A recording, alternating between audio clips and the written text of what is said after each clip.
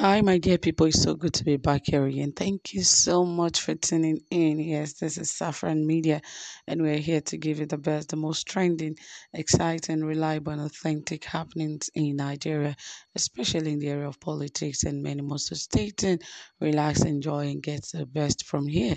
And uh, remember that. Uh, uh, Sheikh Sheikh Gumi has uh, been one of the um, should we call him a mediator between the uh, government and uh, bandits, that is terrorists, that is especially the Boko Haram.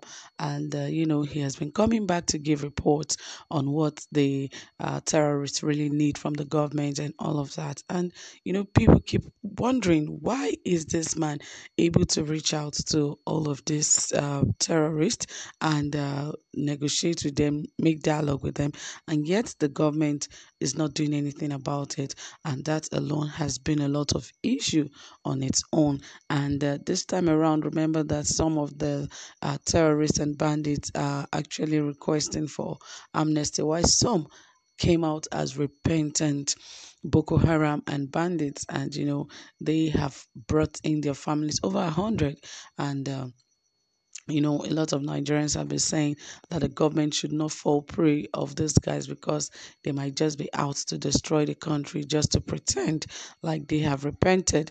But let's uh, let, we're still hoping that that is not their intention. But a lot of people like me, I don't believe that these guys should be granted amnesty because they have actually terrorized this country for a very long time. So it is past the time they should be given any form of amnesty or any form of uh, dialogue for them to be freed or for them to be forgiven. But uh, of course, the APC Governors Forum reject amnesty for bandits and they said nothing would or nothing uh, would make them agree for bandits to be granted amnesty any longer. Yes, a lot of the governors have had a fair share of, you know, all of this in their states. So I guess that is why they are going against the president, Muhammad Buhari. But anyway, let's get into the details of this and see uh, what exactly and why the governors are actually against the president in this matter. You know, it is the APC uh, government. Anyway, guys, please ensure you subscribe, give this video a thumbs up, turn on the notification bell, like, and also share this video. All right, it says right here that the Director General of the Progressive Governors Forum, PGF, which is the umbrella of the governors select, elected on the platform of the All Progressive Congress, APC, Dr. Salihu Lukman, has slammed controversial Kaduna State-based Islamic cleric Sheikh Abubakar Gumi for demanding amnesty for bandits causing mayhem in the northern region. Lukman describes Gumi's position as a threat to national security and a self-service venture. In a statement titled Nigerian Democracy and Challenges of Nation Building, Lukman also faulted Gumi's comparison of bandits in the north with Niger Delta militants. He explained that bandits cannot be placed on the same pedestal with Niger Delta militants granted amnesty by the Umaru Musa Yar'Adua's late administration. He added all arms of the security agencies are fully mobilized and are working in coordinated way to crush the bandits in Zamfara, Katsina and Kaduna Forest. Interestingly, however, some Nigerian leaders have dismissed the military campaign going on to crush the bandits. So-called media commentators, religious and other leaders have discredited decision of government to shut down communication services, markets, etc. in the states where the military operations are taking place. A religious leader has already proclaimed that the military operations against the bandits will fail. What what a jaundiced view. Maybe Nigeria should return to the era where hundreds of millions meant for arms procurement to fight insurgency, banditry and other criminality will be diverted and given to religious leaders for prayers. Instead of mobilizing security agencies to fight criminals, resources being redeployed to fight insecurity in the country should be given to religious leaders to pray for the bandits to come back to their senses. This is perhaps what Sheikh Gumi is preaching when he insists that government should grant amnesty to bandits in the north just the way the administration of late uh, President Musa Yar'Adua handled Niger Delta militants. Anybody who urges this who argue this way is already part of Nigeria's national security problem. Nigeria needs to rise to the challenge of regulating the conduct of so-called leaders, including religious clerics. Being jaundiced makes most of these leaders to be antagonistic to initiatives towards nation building. Beyond religious clerics, there are other categories of leaders in the country with similar jaundiced views Individuals who in their rights count as elders and have paid their dues to this country have become very vocal against virtual virtually against every decision and action of the government.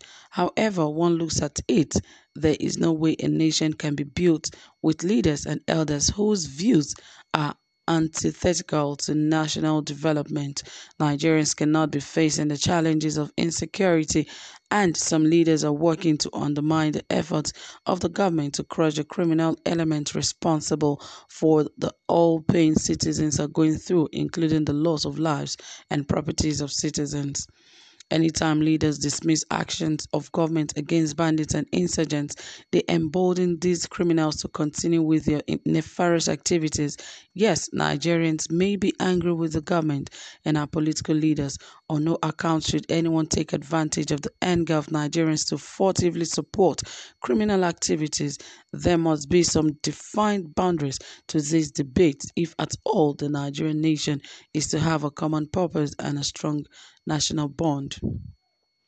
In a related development, the Buhari Media Organization had advised Sheikh Ahmed Gumi to shut up and desist from distracting the country with his clamor for amnesty for bandits at a time the Nigerian military authorities are pounding the criminals in their hideouts. In a statement signed by its chairman Niyi Akinsiju and Security Secretary Cassidy Madueke, M BMO said that there is no basis of for the administration of President Buhari to order a stop to ongoing military actions in the forests of Zamfara state and adjoining areas.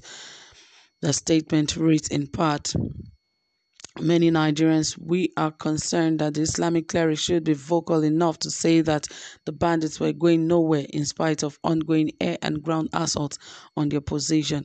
Sheikh Gumi has, by those comments, confirmed his description as the patron saint of criminal elements that had for some time held some states in the northwest hostage. Is it not strange that a religious leader should be so supportive of bandits that are known to have pillaged communities in the far north, waylaid travelers on highways, kidnapped people, including students, for ransom, and even ended up killing their hostages after collecting ransom. We wonder where the sheikh was when those who, who the Zamfara state governor Bello Matawalle and his Katsina state counterpart Aminu Bello Masari granted pardon returned to the forest to resume their lives of criminality. Well, obviously, you can see that it is indeed a problem now that uh, so many people are involved in this. But like what is said here, a lot of you know uh, elites and other former leaders they should stand strong and stop putting efforts that um, criminals and bandits should be granted amnesty. Well, guys, I want to hear from you. Drop your comment. Let's hear from you and also give this video a thumbs up. Do have a pleasant time. Bye for now.